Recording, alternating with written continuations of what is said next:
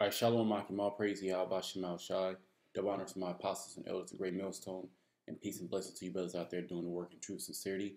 I want to do a, a quick video um, on update of the mark of the beast, which is the RFID microchip, which is spoken about in um, Revelation, the 13th chapter, uh, going down to the 16th verse.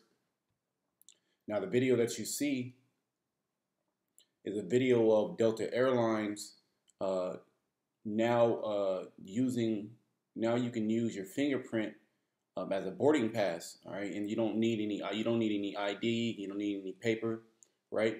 That's that that biometrics, which is uh, as you can see on the video, people pressing down on a on a on a fingerprint scanner. All right, they're going to replace that. This is a new system that they're bringing in.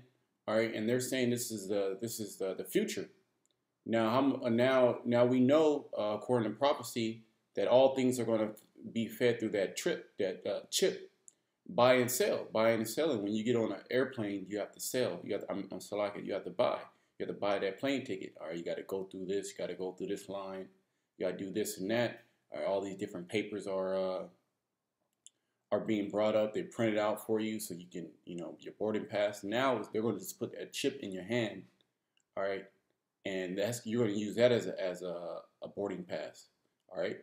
So, like in the video says, it's the future of travel. Yeah, this is the future of travel. All right, the mark, the market, uh, the market of beast, which is the RFID microchip, is the future. All right, and that's one step closer to us getting out of uh, getting out of America, man. Once the Most High, once Esau comes and pushes pushes the chip on the whole world, we know that uh, we know that the end is near. All right, the end is pretty much here.